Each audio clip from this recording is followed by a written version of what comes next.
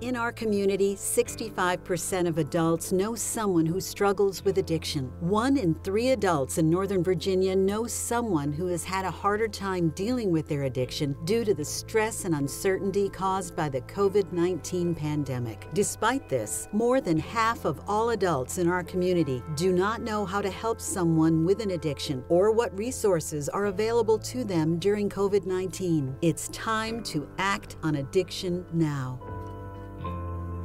you can help combat the stigma around addiction and support those struggling by learning the facts and joining the conversation to fuel awareness throughout Northern Virginia. If you are a friend, caretaker, or parent of someone with a substance abuse disorder, there are many ways you can help. Visit actonaddictionnow.org to learn more, find resources, and join the important community conversation.